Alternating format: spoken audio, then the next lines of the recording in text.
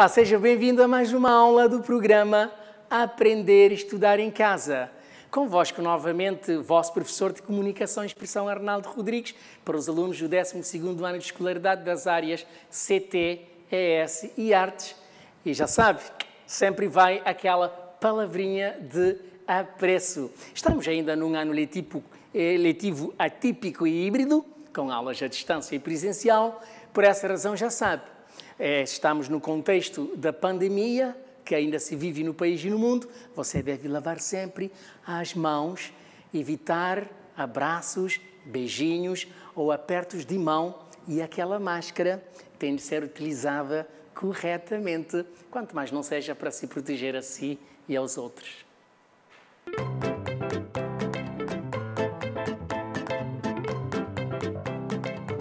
Agora, pegue já na sua caneta, caderno, bloco de notas para dar-vos início a mais uma aula de comunicação e expressão como título do sumário Atos compromissivos.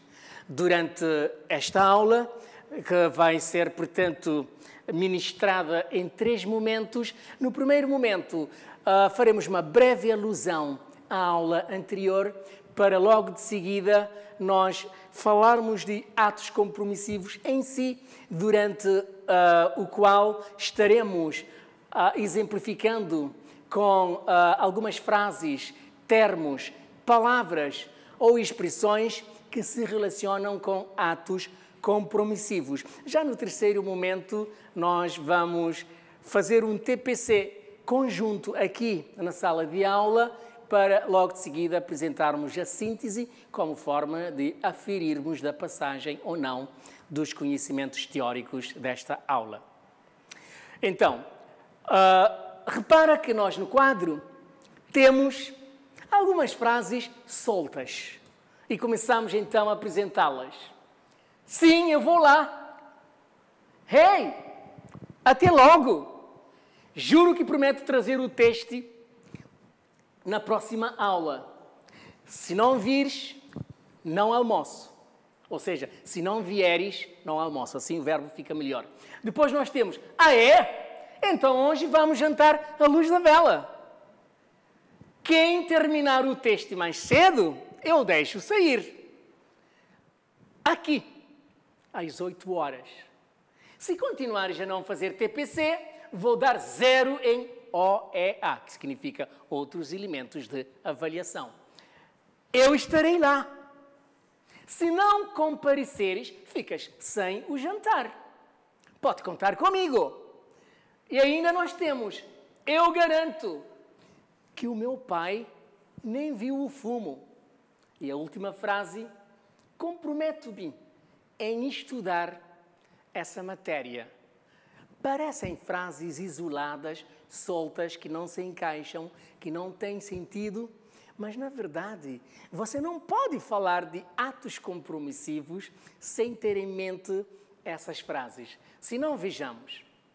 Nós temos então, de acordo com os slides anterior que você viu, nós temos frases com atos ilocutórios compromissivos que ocorrem sempre que o locutor ou emissor também pode ser expressa a intenção de realizar alguma coisa. Mas não basta a intenção de realizar alguma coisa. Essa coisa, a realização, tem de, ser, tem de estar no futuro para que o ato seja comprometivo. E depois você pode ainda ver que afeta o interlocutor, portanto, atos comprometivos ou atos uh, que trazem algum compromisso neles, sempre afeta o interlocutor de forma positiva ou negativa. Então, quando ele afeta de forma positiva ao interlocutor, nós dizemos que se trata de uma promessa. E quando esse ato ilocutório de, afeta de forma negativa ao interlocutor, nós dizemos que se trata, portanto, de uma ameaça. E temos um exemplo de frase que comprova isto. Veja, a linha A, juro que te amo. É positivo ou negativo? Exato! Muito bem. É positivo. Se é positivo, então, não é uma ameaça. trata-se de uma promessa. E a linha B, juro que deixarei de te amar. Uau! Que deixarei! Não traz partícula negativa, não, mas que deixarei. O verbo deixar aqui é forte, expressa uma negação. Então é negativo. Se é negativo, já sai de promessa para passar para uma ameaça. Então, juro que deixarei uh, de te amar, trata-se de uma ameaça. Agora vejam a linha C. Asseguro-te que deixarei de te amar. Asseguro-te. Só porque trocou, nós vamos dizer que não é ameaça. Não, está a segurar, então ainda continua a ser uma ameaça. Então, trata-se de uma ameaça, a linha C. E a linha D? Prometo amar-te até o fim da minha vida. Ora, aqui já há uma promessa. A palavra, o verbo prometo, é, assim, no, na primeira pessoa do presente e do indicativo, está a dar clara indicação de que se trata de uma promessa. Temos a linha E, comprometo-me em amar-te até o fim, amor meu. Está claramente dito que também é uma promessa. A linha F, asseguro-te de que nunca terás um rival. Eu gosto muito desta frase. Quem me dera nunca mais ter um rival nesta vida.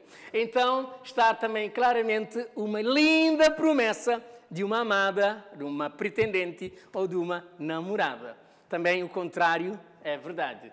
A linha G. Garanto que sairás da minha vida. Nossa, eu não quero isso.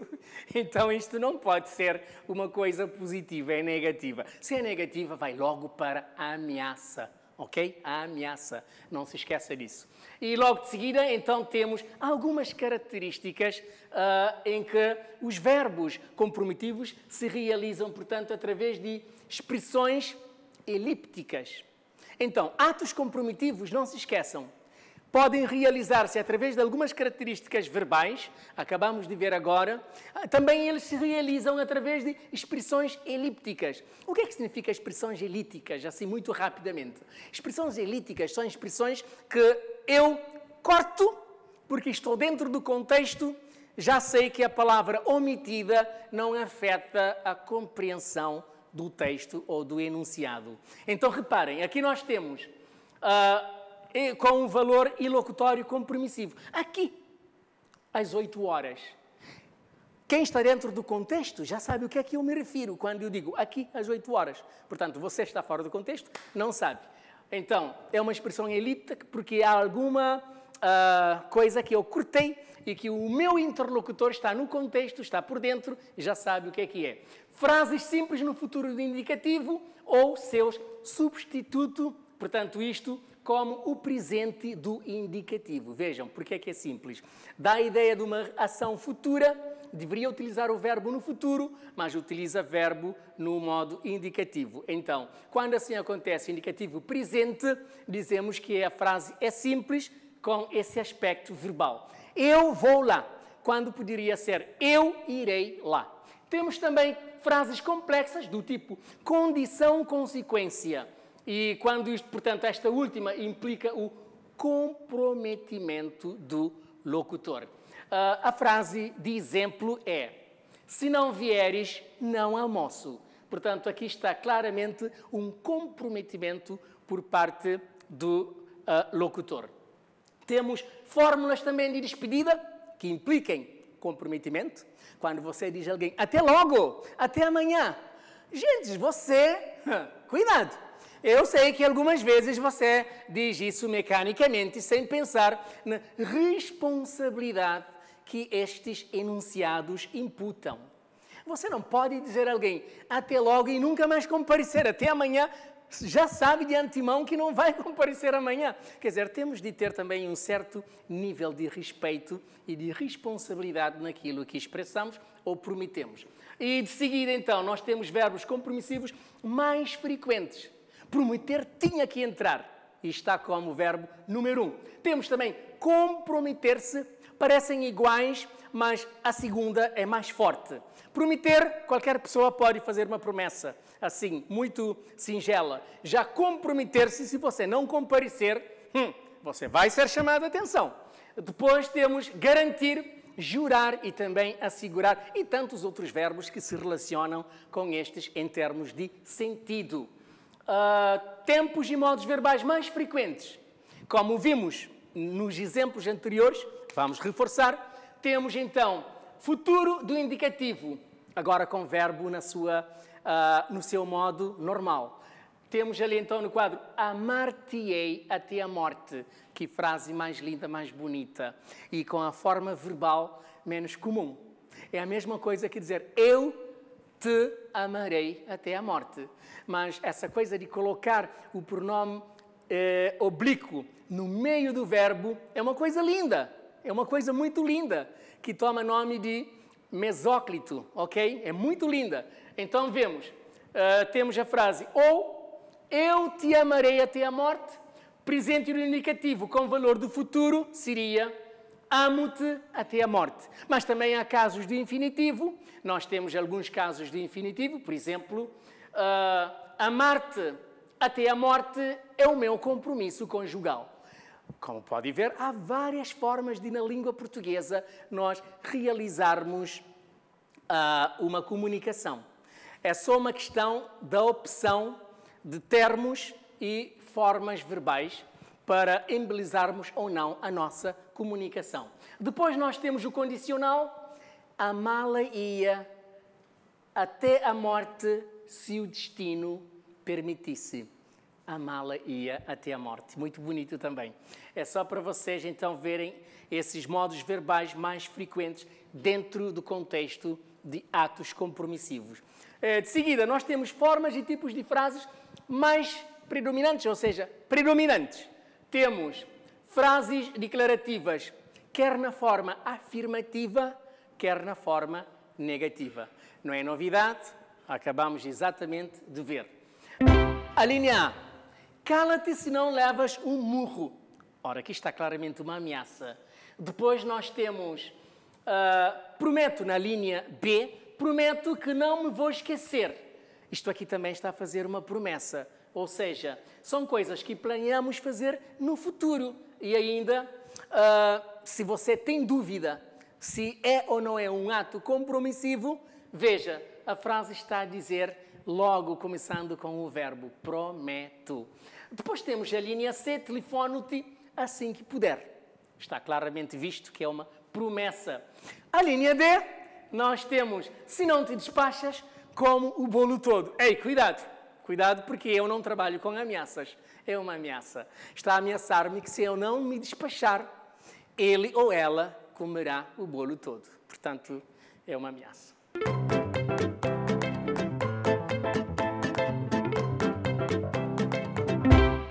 Agora é tempo para um pequeno exercício e não se preocupe, vai ser em conjunto porque eu quero seguir-lhe para ver se você consegue fazer tudo direitinho. Então, vamos trabalhar isso em conjunto. E eu vou então ler a carta de um autor anônimo em resposta à reação da sua amada, por sinal fora de Cabo Verde. E vejamos então. Amada Chuchu, só para te dizer que não gostei da tua reação à minha missiva da semana passada. Minha intenção foi simplesmente deturpada, pelo que prometo que nunca mais vou exteriorizar os meus sentimentos amorosos por ti e jamais vou te dirigir palavras afáveis. Garanto que se não mudares a tua forma de pensar e de abordar assuntos destes, deixarei de te amar, assegurando-te, inclusivamente, de uma possível substituição por outra, pelo que nem adiantará qualquer tentativa de pedir desculpas ou a reconciliação, porque já estou totalmente esgotado. E neste momento vamos ver algumas perguntas de interpretação, eh, quanto mais não seja, para ver se você consegue encontrar todas as palavras, termos ou expressões que se relacionam com atos compromissivos. E temos então questão número 1. Um, qual é o conteúdo preposicional da carta? Questão número 2. Qual é o objetivo ilocutório? 3. Qual é a força ilocutória? 4. Quais são os verbos compromissivos utilizados?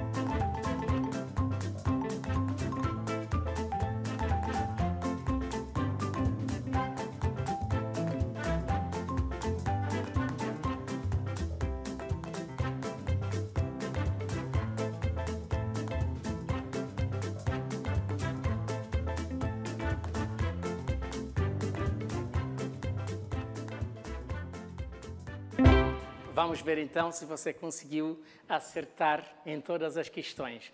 Então, número 1. Um, qual é o conteúdo proposicional da carta? Exatamente, coincide praticamente com aquilo que é a resposta correta.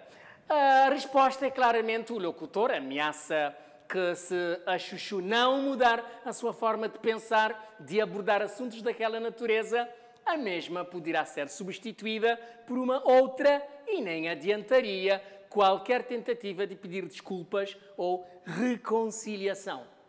2. Qual é o objetivo ilocutório? Exatamente! O objetivo ilocutório é justamente desabafar a mágoa e deixar a chuchu de sobreaviso em relação ao seu comportamento futuro. E qual seria esse futuro comportamento? Com certeza, arranjar a substituta, uma outra amada. Vamos para a questão número 3. Qual é a força ilocutória? Uh, a força ilocutória? Exatamente, mas eu nem sabia que você ia acertar esta questão. É justamente força ilocutória, não é nada mais e nada menos do que a repreensão. É a promessa, é o comprometimento ou mesmo ameaças. É essa a força ilocutória desta carta. Uh, quatro. Quais são os verbos compromissivos utilizados? Ora, exatamente! Você hoje está top, acertando tudo. Não sei o que é que aconteceu, mas você hoje está top. É, é exatamente o que diz. Os verbos eh, compromissivos utilizados são a linha A. Prometer, quando a própria palavra dizia Prometo que nunca mais vou exteriorizar meus sentimentos amorosos por ti. A linha B. Outro verbo que você acerta também. Garantir. A carta diz claramente isto na parte onde está escrito: Garanto que se não mudares, reticências. Toda aquela promessa e ameaça. E depois nós temos a linha C. Deixar. Este, portanto, este verbo tem um sentido compromissivo porque ele se compromete em deixar. E temos aqui então, deixarei de te amar. Será que temos outro verbo? Vamos ver. A linha D. Sim, exatamente. A linha D era um outro verbo da carta, assegurar.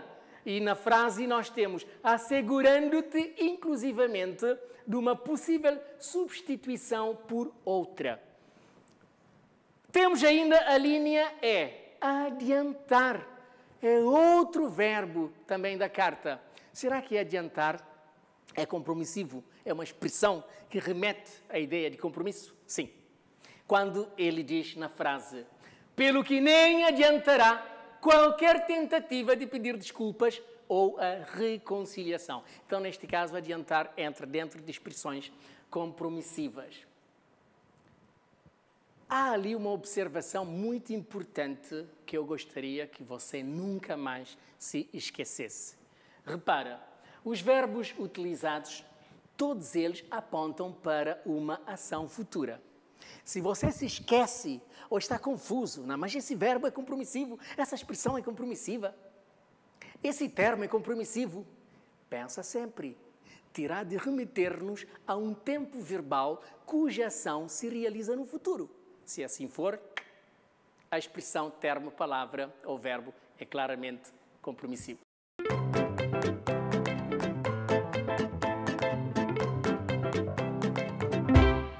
Daqui para a próxima aula, você só tem a tarefa de preparar alguma coisa sobre os atos declarativos. Portanto, isto para a próxima aula.